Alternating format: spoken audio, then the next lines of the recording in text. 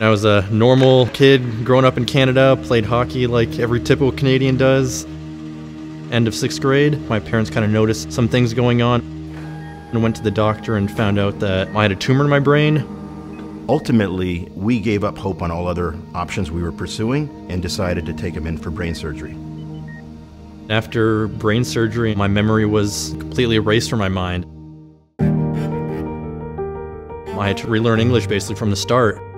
Now, fast forward, you know, five, six years later, and I mean, you probably can't tell that I couldn't speak English before. The scholarship was very important to me at that time. Wanting to restart life and find that right university for me, I had that gut feeling Queens is the place to go. Any student's path is only limited by the limitations they see. Philip, I think, why he's an inspiration is I don't think he sees any limits. You know, he can still learn, do, accomplish anything.